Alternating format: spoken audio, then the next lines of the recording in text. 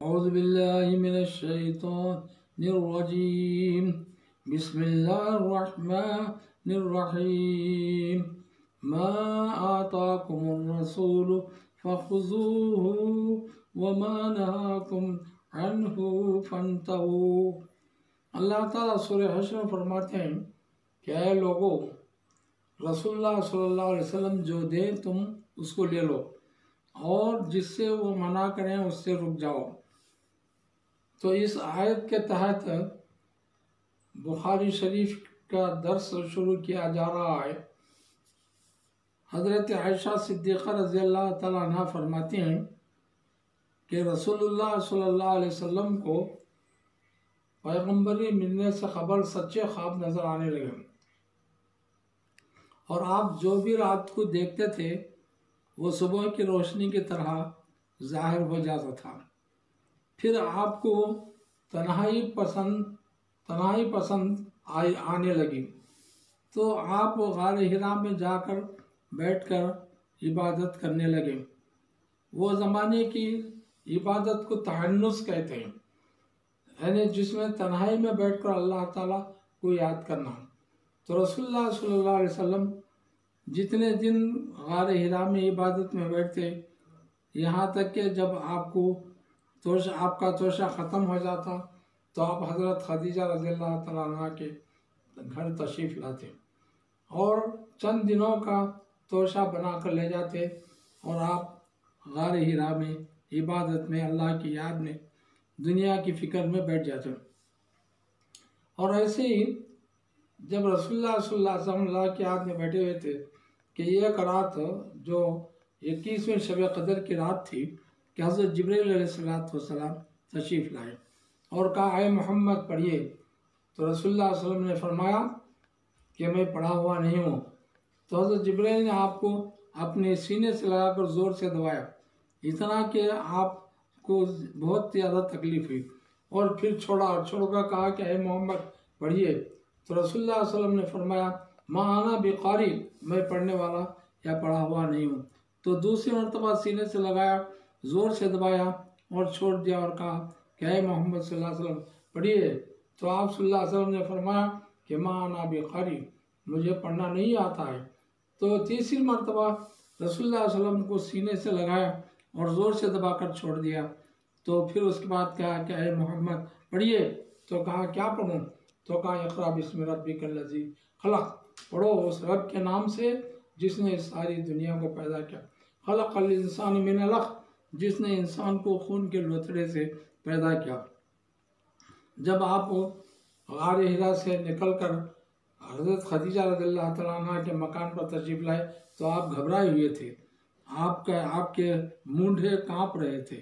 आप वसल्लम ने कहा कि मुझे कंबल उड़ा दो, मुझे कंबल उड़ा दो। तो हज़रत खदीजा रज़ील्ला तला ने कंबल उड़ा दिया।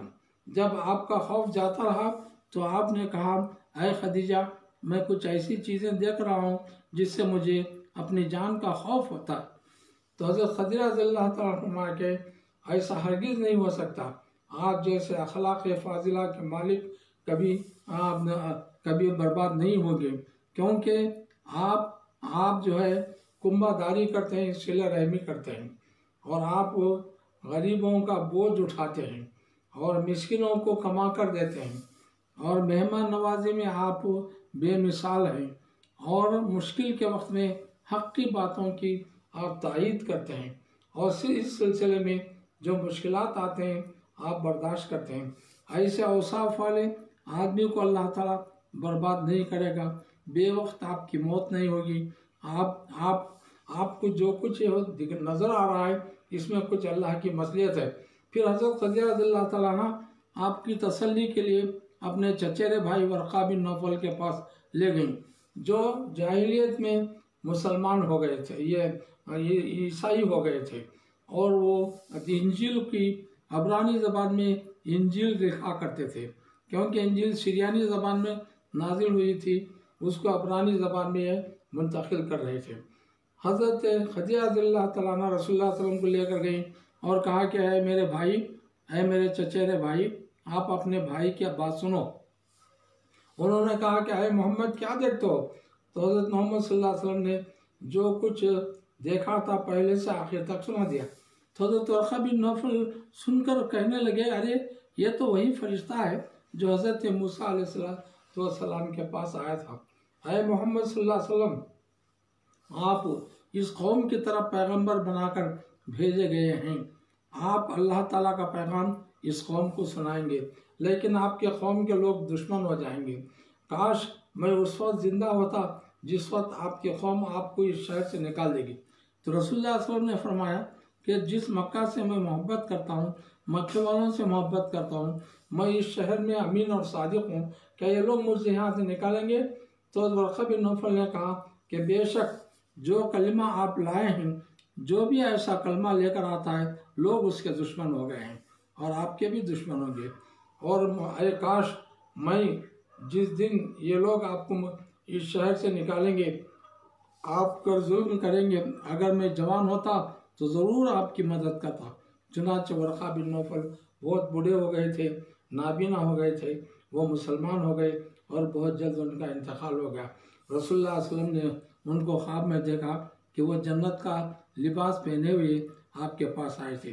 तो हज़रत रसुल्ला अलैहि वसल्लम पर फिर वही रुक गई। ढाई साल या तीन साल वही रुकी रही। रसुल्ला वसल्लम बहुत परेशान थे इस ज़माने में कि वही रुक गई है।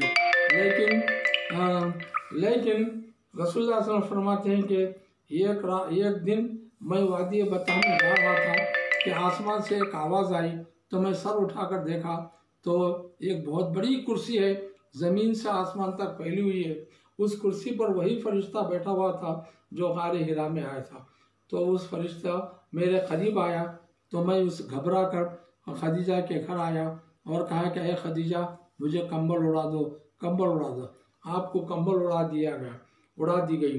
तो आपको थोड़ा इतमान हुआ तो अल्लाह ताला इस आयत को नाजिल फरमाया, या यूहल मुद्दसिर, कुम फाजिल आए मोहम आए कंबल और कमली वाले आए कमली उड़ने वाले, उठो तुम खड़े हो जा फाजिल लोगों को तुम बुद्ध परिस्थिति से डराओ और लोगों को नेक नसीहतें करो।